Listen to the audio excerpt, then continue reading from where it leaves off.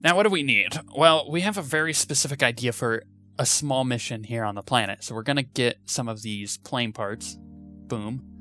Uh, we need a few other things here and there, but what what should we get right now? We should probably get landing gear for that airplane that I want to make at the moment. Yeah, we don't need any of the rest of that yet.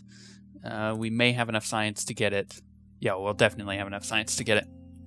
Okay, so what's going on now that the Kerbals have been able to send something to the moon, have it explore some of the scientific data, you know, with the ooze and all that uh, that they brought with them?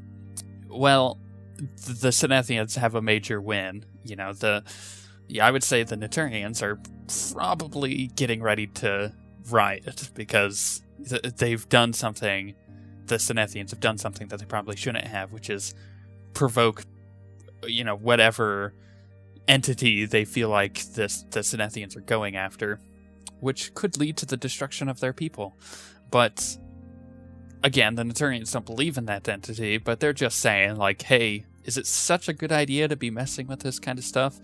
So the Senethians have decided to take take a step back. They're not going to send someone to the moon right away. They gotta they gotta do some fire preventing here on the planet itself by putting out some of the social fires that are going on. So instead, they've decided to make not a secret mission, but a mission that is being dubbed as something else. They're creating planes, right? They're they're testing aircraft to start ferrying people across the planet, but in reality, what the people at this Project Destiny are doing uh, in secret is they're testing aircraft so they can make space planes. They want to be able to send shuttles up into orbit to get more Kerbals up there and to be able to deploy satellites more effectively rather than having to spend a ton of money on rockets and do it that way. So, that is what we're going to work on here. So this is the basic structure. These are fuel tanks, and then we have uh, so we have two fuel tanks, a jet engine, and then some scientific stuff in the middle. Just because you know, if we come across something on the planet that we want to test this out on, then we'll we'll try it. These wings are probably a bit excessive, so we're going to do maybe something up not so crazy as far as size is concerned. Uh, those aren't good enough. I don't feel these are. Maybe maybe we will just need to go with these wings.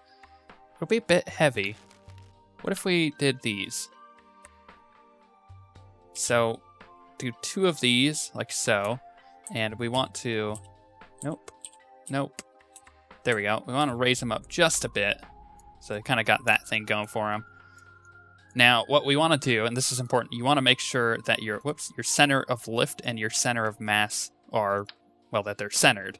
So we want to keep our wings kind of in the middle like that. So what I'm going to do instead is uh, place winglets on the front, like so. And then we'll do some on the back. Actually, maybe we should put these on the back. Let's try that. See, that'll balance that out a lot better. Um, potentially moving those around. Now, I need control surfaces on the back, uh, specifically to control our yaw. So we'll do one of those. And we need to have some control surfaces on our wings here. Also, these wings are quite interesting. But I don't want those. So let's get some of these going. Uh, let's turn that off so it kind of lines up correctly. I mean, kinda. We're gonna have to do a little bit of adjusting here to get these to look right. There we go. That doesn't look too bad. Control surfaces, our center of lift is a bit back, so we can take this Whoops, that's not what I wanted to grab. I wanted to grab the wings and duplicate it like that. Oops, there we go. Just forward a bit, because we are going to be burning fuel, and that center of mass and center of lift will change.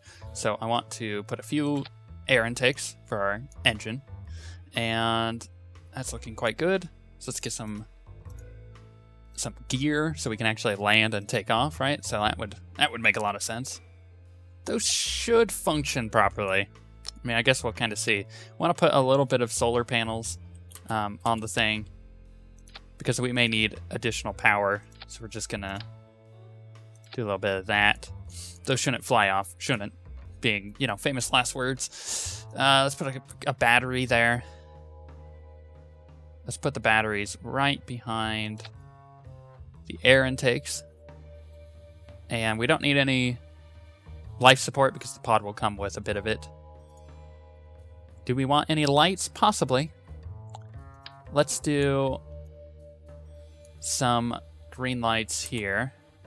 So we know that's the front, right? So we can kind of see how that's going to look as we land. And then let's do some red lights in the back. So right there, behind the engine. Or underneath the engine, rather. That looks pretty good. I think this will fly, and I think it will... I think it'll do what we need it to do, right?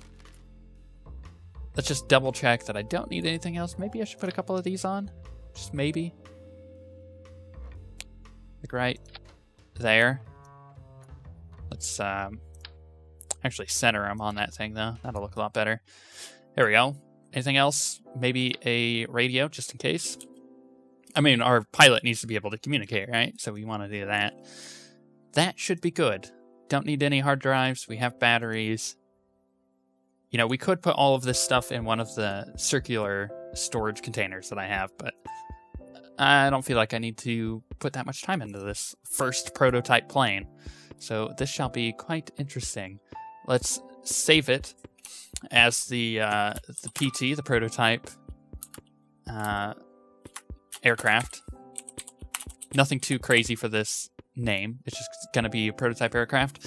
And that's to keep these suspicions down. If they were naming it, that means, oh, they're planning on doing missions with this. But because this is technically under the civilian sector, they want to make sure that uh, nothing nothing too crazy is getting out there so the civilians go oh they're just testing an aircraft right so what we're going to do is we're going to quick save and then we're just going to speed up time a bit we probably should put our brakes on we're going to speed up time simply so we can uh, do this during the day perfect love it beautiful all right that should be more than enough air intakes for this so let's uh, hit that and quick save again we're going to turn on SAS we're going to turn our throttle all the way up and we're gonna go.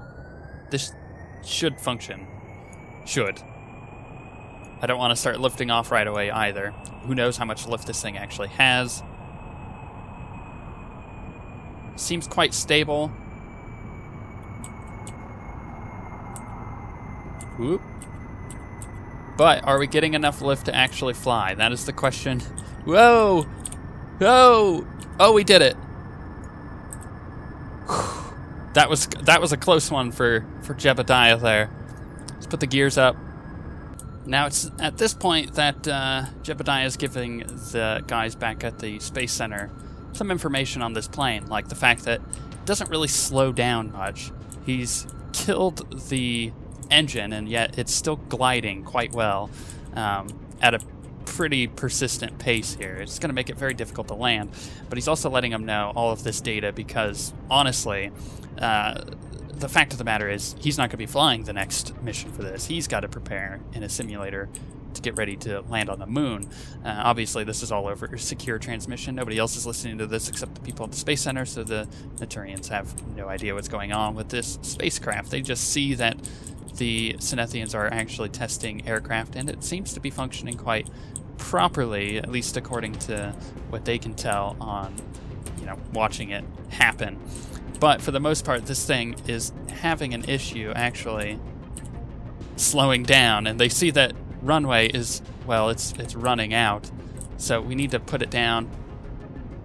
Whoa! Don't hit that! Don't hit that! Don't hit that! Oh my gosh, Jebediah, you are a boss as far as flying is concerned.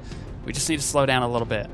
Just tap the brakes, tap the brakes, tap them brakes. Okay, brakes. There we go. There we go. Now we're slowing down. that was... Oh. Okay. He's fine. He's fine. He's good. Well, that could have ended a lot more dastardly and with uh, with a lot more of an explosion. Let's recover the vessel. Jebediah is fine. The information has been transmitted back of how to fly this thing, so it's going to be put into the uh, the simulator data for the next one. Obviously, the space guys need to clean up the rest of the debris just in case this ever becomes an issue. So we want to recover that because if if we need to land like that again, we don't want to be running into our own debris, right? That just makes sense. So we're gonna clean up all of this. We're also gonna go back and try this design a bit differently with all the data that we've recovered there. Uh, you know of how how the aircraft is gonna work. We're gonna load that one back up and hopefully adjusted enough that it is actually going to fly properly. Maybe they think that they should do different engines because that engine, while good, it just necessarily wasn't what they were looking for. So we need to come up with a slightly different design, and the way to do that is to obviously make a different design. Now, this time they've gone with a bit more of a different design. The the gear probably could be in a better spot, like potentially like up on the wings here, um, or further back even, like right there. Actually, that's way better. But the problem is obviously the way that it sits, because this is a raised tail. So possibly, maybe what we need to do is actually do this. Oh, by the way, we're running parachutes this time as a as a precaution. They've learned their lesson. You know, it's it's one of those. They potentially could have saved a bit of money there by not having the issues they did with with landing. So this is one of those we probably should use better parts, right? So what they're going to do is they're going to put these control surfaces on like so and then also do the parachutes back here which that sits kind of funny. So we'll adjust it like so. There we go now we have parachutes in the back and then what we want to do is we want to get the gear the more heavy duty landing gear this time than the last time because the last time it didn't really feel like they were going to do a good job of slowing us down. Um, so we're going to go with this design a bit more. Also could adjust this out again to be kind of like that. There you go. They're flatter. They should be better designed. Now let's look at our center of mass to center of lift. Our lift is a little high, so what we can do is we should add wings in the back. I'm thinking potentially these little stabilizers in the back. How much? Oh, that moves that way back. So potentially uh, moving them there and then moving the parachutes.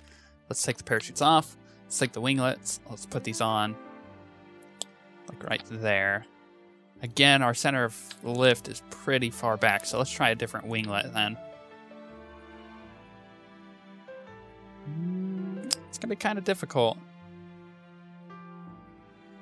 it's going to be hard to move these wings up. So what we could try is actually just putting the um, the control surfaces on. We'll see if that affects our lift rating at all.